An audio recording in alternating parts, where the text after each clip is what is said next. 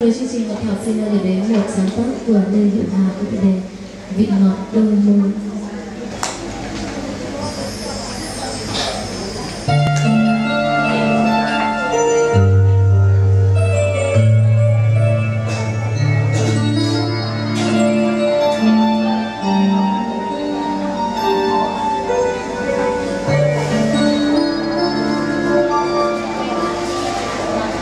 trong làm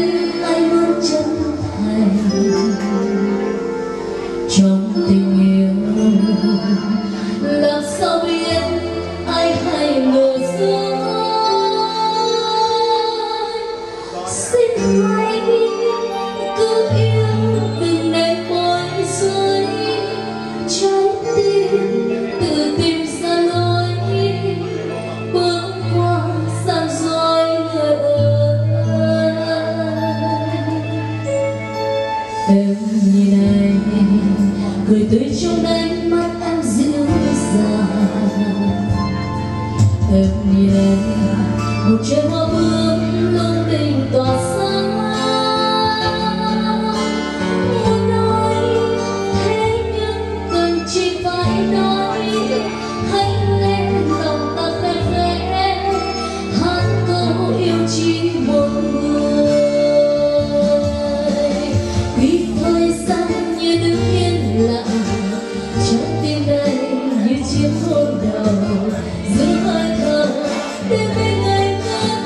đắm say về ngọt đôi môi cho dù mai vẫn đôi sao rời, trái tim này không chỉ một người. Dù phải chim tròn luân muôn linh yêu vẫn yêu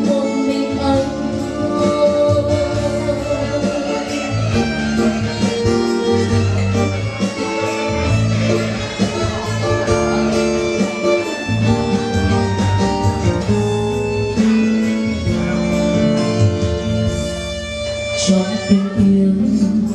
Làm sao biết ai luôn chân thành trong tình yêu làm sao biết ai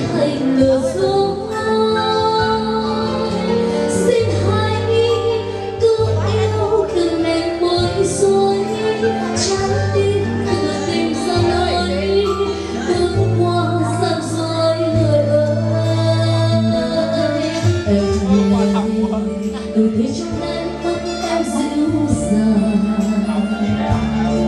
thành nhìn em một trời hoa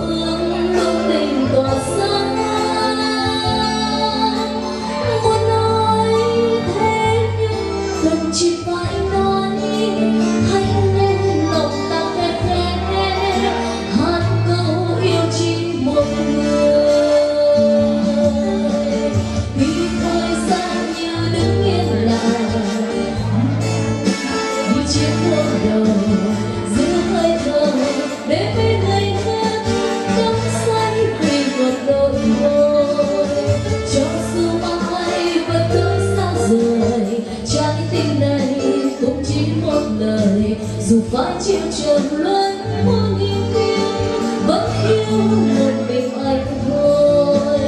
Cho dù mai vẫn tới xa rời, trái tim này cũng chỉ một lời. Dù phải chịu trần muôn nghìn kiếp, vẫn yêu. Một mình anh thôi.